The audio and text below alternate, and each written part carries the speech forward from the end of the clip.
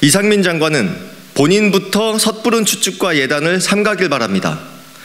이태원 참사에 대한 이상민 행정안전부 장관의 태도에는 국민 안전을 책임지는 주무장관으로서의 일말의 책임감도 느낄 수 없습니다.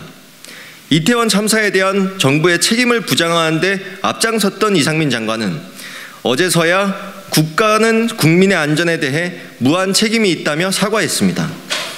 하지만 자신의 발언은 섣부른 추측이나 예단은 삼가야 한다는 취지였다고 강변하며 여전히 정부 책임을 인정하지 않으려는 모습을 보였습니다. 정부가 사전에 안전사고를 방지하기 위해 충분히 노력했다면 결코 일어나지 않았을 참사가 벌어졌는데 무엇이 섣부른 예측이고 예단이라는 말입니까? 이태원 참사는 국민 안전에 대한 정부의 무관심, 무대책에 초래한 총체적 부실을 보여주고 있습니다.